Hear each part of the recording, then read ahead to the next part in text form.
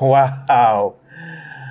My friend, I think you need some help. Welcome to the GPX Dog channel and let me explain why French Bulldogs can breed naturally. French Bulldogs have short legs, compact bodies, and narrow hips. It will be difficult for the male Frenchie to mount on top of the female Frenchie successfully to reproduce.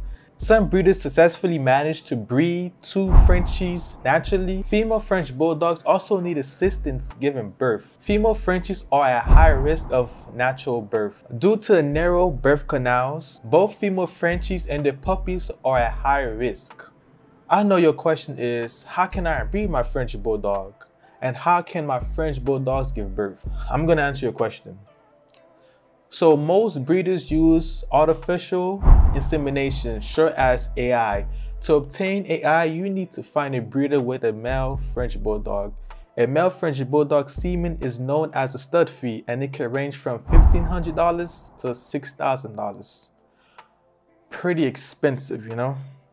Most female Frenchies cannot have natural birth, so a C-section is needed. A French Bulldog C-section can range between 600 to $2,000 in the United States.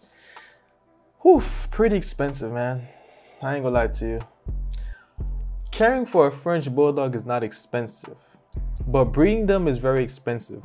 Most people have French Bulldog as family dogs, but most people breed them for profit. So let me know in the comment section if your French Bulldog is a business dog or family dog. Thank you for watching. Like, comment, subscribe. Comment your thoughts and I'll see you on the next video.